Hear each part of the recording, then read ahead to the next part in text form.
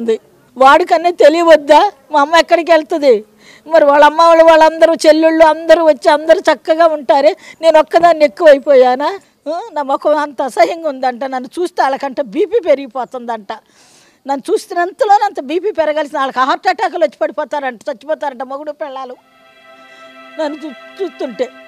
నేను అంత ఇదిగా ఉన్నాను? నేనే పెంచాను కదమ్మా నేనే పెద్దదాన్ని చేశాను కదమ్మా. తిన్నామో తినలేదు.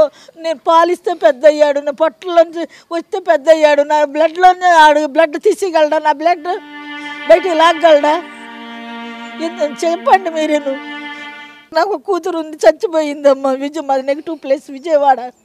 చచ్చిపోయింది. అది ఉంటే నాకు అసలు ఈ తిప్పలు ఉండేవి కాదు. నేను అక్కడికే వెళ్ళిపోయేదాన్ని. ఆస్తి లేకపోవడం నా పాపమా? డబ్బు లేకపోవడం నా పాపమా? చెప్పండి. షుగరు బీపీ గ్యాస్ ఆస్మా అన్నీ ఉన్నాయి నాకు. ఇక ఎక్కడ పని చేసుకొని బ్రతకగలనా నేను పని చేయలేను. వంట ఒక్కటే చేయగలను నేను. ఇక్కడికి ఎలా వచ్చారండి ఆనంద నిలయానికి? ఆనంద నిలయానికి అపోలో హాస్పిటల్లో ఒక డాక్టర్ గారు అని ఫిజియోథెరపీ డాక్టర్ గారు ఉన్నారు. చారి.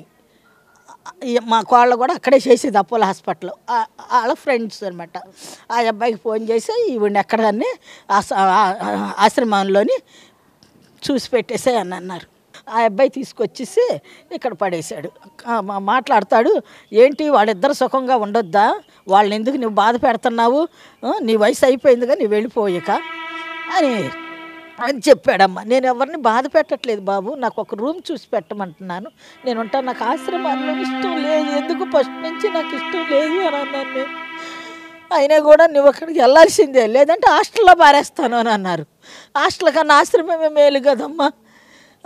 అనేసేసి నేను ఇక్కడికి వచ్చేసాను. దీనికి ఒక చట్టం తీసుకురావాలమ్మ. ఏ కొడుకు కూడా ఇలాంటివి చెయ్యకూడదు. ప్రతి ఒక్క కొడుక్కి చెప్తున్నాను. దీని వెనకాల వాళ్ళ భార్యలు వాళ్ళ అమ్మలే ఉన్నారు. భార్య చెప్పుకోవాలిగా మా అమ్మ ఒక్కదయ్య ఉంది. మా అమ్మకి ఎవరు లేరు. మా అమ్మ తప్పితే నాకు మా అమ్మే ఉంది కాబట్టి మా అమ్మ నా దగ్గరే ఉంటుందని చెప్పాలి కదా.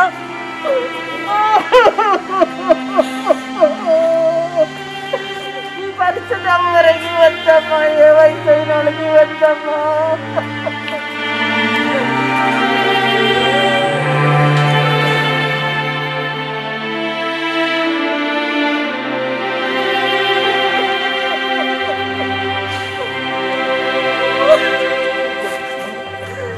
చూశారు కదా ఒక తల్లి ఆవేదనను రాగానే మమ్మల్ని ఆవిడ